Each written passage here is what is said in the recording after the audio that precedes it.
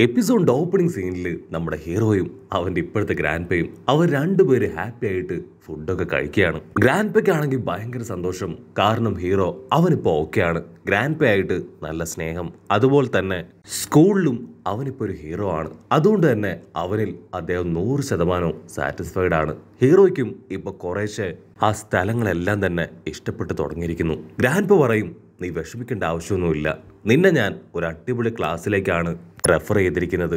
അതുപോലെ തന്നെ നിനക്ക് കൂട്ടിന് നിന്റെ രണ്ട് പുതിയ ഫ്രണ്ട്സിനെയും അവരെയും അതേ ക്ലാസ്സിൽ തന്നെ നിനക്ക് വേണ്ടി ഞാൻ അവിടെ തന്നെ ചേർത്തു എന്നൊക്കെ പറഞ്ഞ് അവരിപ്പോൾ ഹാപ്പി ആയിട്ട് ഫുഡ് കഴിക്കും.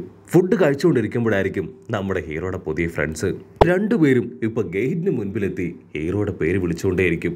അവർക്ക് സ്കൂളിൽ പോകാൻ ടൈമായി അങ്ങനെ ഫുഡൊക്കെ കഴിച്ച് ഇപ്പം നമ്മുടെ ചെക്കൻ അവന്റെ പുതിയ ഫ്രണ്ട്സിന്റെ കൂടെ സ്കൂളിലേക്ക് പോവാണ് ഹീറോ പറയും നമ്മൾ മൂന്ന് പേരും ഒരേ ക്ലാസ്സിലാണ്. Misfit class. ആക്ച്വലി അത് പ്രോബ്ലംസ് ക്രിയേറ്റ് ചെയ്യുന്നവർക്ക് വേണ്ടിയിട്ടുള്ള ക്ലാസ് ആണെന്നാണ് എന്റെ ഗ്രാൻഡ് പ പറഞ്ഞത്. ഇവിടെ നിൽക്കുകയാണെങ്കിൽ ഒരുപാട് കാര്യങ്ങൾ പഠിക്കാനും അറിയാനൊക്കെ പറ്റുമെന്നാണ് ഗ്രാൻഡ് പയുടെ അവകാശവാദം. ഹീറോ അത് പറയേണ്ട താമസം അവന്റെ ഫ്രണ്ട്സ്. അവർ രണ്ടുപേരും തുള്ളിച്ചാടും. വാവ് മാസ്റ്റർ ഞാനും നിങ്ങളുടെ ക്ലാസ്സിലാണല്ലേ? എന്ത് ക്ലാസ് ആണെങ്കിലും കുഴപ്പമില്ല. എനിക്ക് എന്റെ മാസ്റ്ററുടെ കൂടെ നിന്നാൽ മതി എന്ന് പറഞ്ഞ് എയ്സ് അവൻ ഒരുപാട് ഹാപ്പിയാവും. അതുപോലെ തന്നെ നമ്മുടെ പെണ്ണും. ആസ് ആണെങ്കിൽ അല്പസമയം നമ്മുടെ ഹീറോ എന്ന് ശ്രദ്ധിക്കും. എന്തുകൊണ്ടാണ് മാസ്റ്റർ മാത്രം പറന്ന് സ്കൂളിലേക്ക് പോവാത്തെ? അതിന് ഹീറോ ആണെങ്കിൽ തിരിച്ചു ചോദിക്കും നിങ്ങളെ കൊണ്ടും പറക്കാൻ കഴിയോ? അതിനാവും പറയും എല്ലാ ഡീമൻസിനെ കൊണ്ടും പറക്കാൻ പറ്റും. എനിക്കറിയാം മാസ്റ്റർ എന്തുകൊണ്ടാണ് പറക്കാത്തതെന്ന്. ഹീറോ ആണെങ്കിൽ അത് കേട്ട് ഷോക്കാവും. അവൻ പറയും മാസ്റ്റർ എങ്ങനെ നടക്കുകയാണെങ്കിൽ മാസ്റ്ററിന്റെ കാൽ കൂടുതൽ സ്ട്രോങ് ആവും. അതുകൊണ്ടല്ലേ മാസ്റ്റർ നടക്കണേ? അതിന് ഹീറോയും ചിരിച്ച് അവനെ നോക്കി തലയാട്ടും. അങ്ങനെ നമ്മുടെ ആൾക്കാർ ഇപ്പൊ ക്യാഷ്വലായിട്ട് സംസാരിച്ച് അല്പസമയം കഴിയുമ്പോൾ ക്ലാസ്സിലെത്തും. മൂന്ന് പേരും നമ്മുടെ ആൾക്കാർ മൂന്ന് പേരും ഒരേ ക്ലാസ്സിലായതുകൊണ്ട് തന്നെ അവർ ഭയങ്കര ഹാപ്പിയാണ്. അവർ ക്ലാസ് നോക്കി മുൻപോട്ടേക്ക് പോവും. അപ്പോഴാണെങ്കിൽ ഹോണറബിൾ സ്റ്റുഡൻസിന് അവർക്ക് മാത്രം കാണുന്ന ഒരു പ്രത്യേകതരം ആരോ അതിപ്പോ ഹീറോയുടെ അടുത്തേക്ക് വരും. എയ്സ് ആണെങ്കിൽ ആ ആരോ ചൂണ്ടിക്കാണിക്കും. അത് മാസ്റ്ററിനുള്ള ആരോ ആണ് നമ്മുടെ ക്ലാസ്സിലേക്കുള്ള വഴി കാണിക്കാനാണ് അത് ശ്രമിക്കുന്നത്.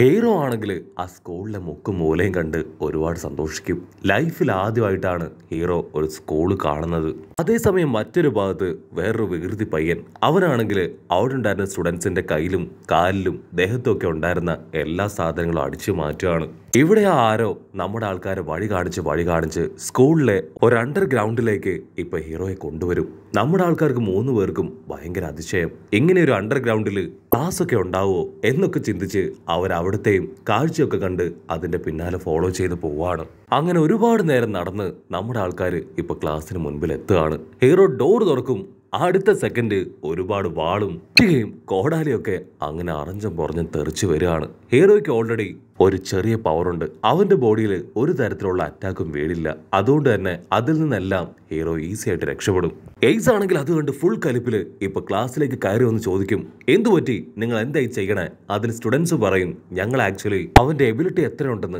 ചെക്ക് ചെയ്യായിരുന്നു. അതിനുവേണ്ടിയുള്ള ചെറിയൊരു ടാസ്ക് ആയിരുന്നു ഇപ്പൊ കഴിഞ്ഞത്. ഇവനെ പോലെ തന്നെ മറ്റൊരു പയ്യനും ഇതുപോലെ എല്ലാ അറ്റാക്കിൽ നിന്ന് രക്ഷപ്പെട്ടു. അവനാണ് ഇവനെന്ന് പറഞ്ഞ് വേറൊരുത്തിനെ ചൂണ്ടിക്കാണിക്കും.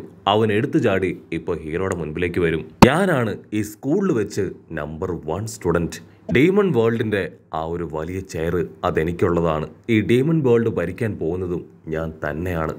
ആക്ച്വലി ഈ ഡീമൻസിന്റെ ഇടയിൽ പത്ത് റാങ്കിങ് ഉണ്ട്.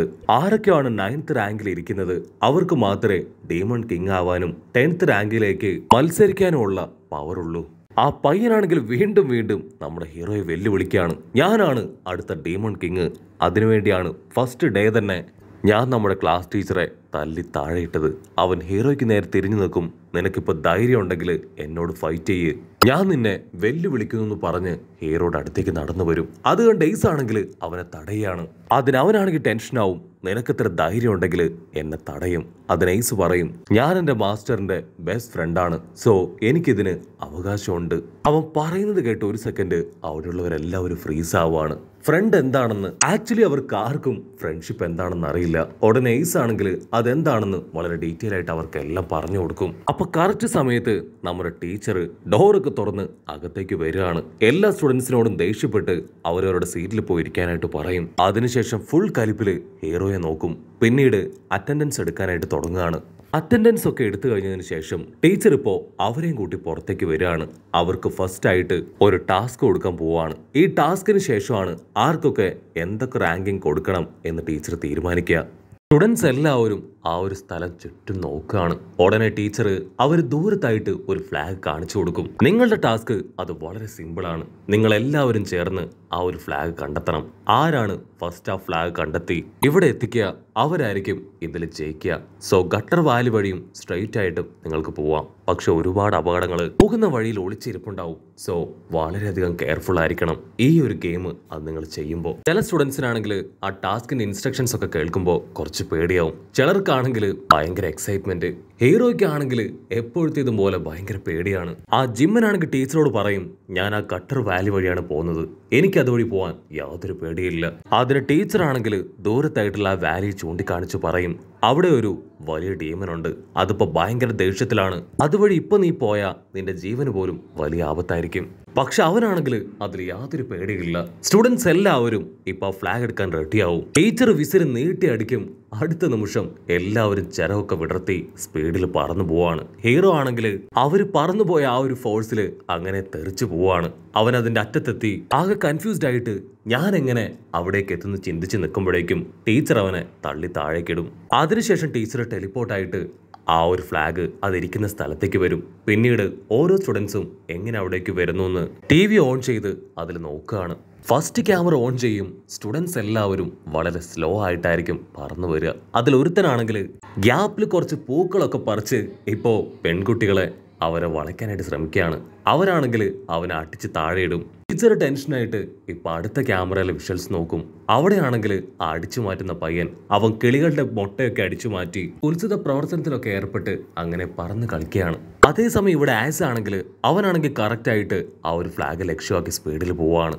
അപ്പോഴാണെങ്കിൽ താഴെയുള്ള ഡീമൻ ഫ്ലവേഴ്സ് അവറ്റകൾ നമ്മുടെ ചെക്കനെ അറ്റാക്ക് ചെയ്യാനാണ്. ഏസിനെ അറ്റാക്ക് ചെയ്യാണ്. അവനെ അറ്റാക്കിൽ നിന്നെല്ലാം രക്ഷപ്പെട്ട് മുൻപോട്ടേക്ക് കുതിക്കും. ഉടനെ ക്ലാര അവന്റെ അടുത്തേക്ക് വന്ന് നീ അടിപൊളിയാണ്. ഇങ്ങനെ തന്നെ ഫൈറ്റ് ചെയ്ത് മുൻപോട്ട് പോകാൻ പറഞ്ഞ് അവന്റെ മുതുകിൽ കയറിയിരിക്കും. അങ്ങനെ സീൻ കട്ട് ചെയ്ത് ആ ജിമ്മനെ കാണിക്കും. അവനാണെങ്കിൽ ഭയങ്കരമായിട്ട് റിസ്ക് ഒക്കെ എടുത്ത് ആ വാലിക്കിടയിലൂടെ പോവാണ്. അവിടെയാണെങ്കിൽ അതിശക്തമായ കാറ്റ് ഇടി മിന്നൽ എന്നിങ്ങനെ എല്ലാം പക്ഷേ അവൻ അതിനെല്ലാം തോൽപ്പിച്ച് മുൻപോട്ടേക്ക് കുതിക്കുകയാണ്. അപ്പൊ ദൂരത്തായിട്ട് ആസാണെങ്കിൽ ആ കാഴ്ചയൊക്കെ കണ്ട് കണ്ട് ഇപ്പൊ ഒരു ട്രാപ്പിൽ പോയി കുടുങ്ങും. അവന്റെ കഥ കഴിഞ്ഞു. ഇനി ഒരിക്കലും അവന് രക്ഷപ്പെടാൻ പറ്റില്ല എന്ന് പറഞ്ഞ് ഇപ്പൊ ടീച്ചറാണെങ്കിൽ അവന്റെ പേര് വെട്ടും. അതേസമയം മറ്റൊരു ഭാഗത്ത് നമ്മുടെ ഹീറോ അവനാണെങ്കിൽ ഏതോ ഒരു ബേർഡ് കൊത്തിയെടുത്ത് അങ്ങനെ പറന്നു വരികയാണ്. അത് കുറച്ച് മുൻപോട്ടേക്ക് വരുമ്പോ ഒരു ബീസ്റ്റിന്റെ ശബ്ദം കേട്ട് ഹീറോയെ അവിടെ തന്നെ ഉപേക്ഷിച്ച് എവിടേക്കോ പറന്നു പോവും. മറ്റൊരു ഭാഗത്ത് ക്ലാരയാണെങ്കിൽ ഒരു പൂവിന്റെ ഉള്ളിൽ പെട്ടുപോയിരിക്കുകയാണ് അത് കണ്ട് ആസ് ആണെങ്കിൽ ഒരു വാലെടുത്ത് വെട്ടി ആ പൂവിൽ നിന്ന് ഇപ്പൊ ക്ലാരയെ രക്ഷിക്കും. അവന് മനസ്സിലാവും അവരുടെ മാസ്റ്റർ അദ്ദേഹം തീർച്ചയായിട്ടും ആ ഫ്ലാഗിന്റെ അടുത്തുണ്ടാവും. എത്രയും വേഗം ഫ്ലാഗ് അത് എടുത്തേ പറ്റൂന്ന് പറഞ്ഞ് അവൻ വീണ്ടും ഫ്ലാഗിന്റെ അടുത്തേക്ക് പോകാൻ തയ്യാറാവുകയാണ്. ഇവിടെ ഹീറോ ആണെങ്കിൽ തെറിച്ചു വന്ന് ഒരു ബേർഡിന്റെ ദേഹത്തേക്കായിരിക്കും വീഴുക. അതിന് കാലിൽ പരുക്ക് പറ്റിയിട്ടുണ്ട്.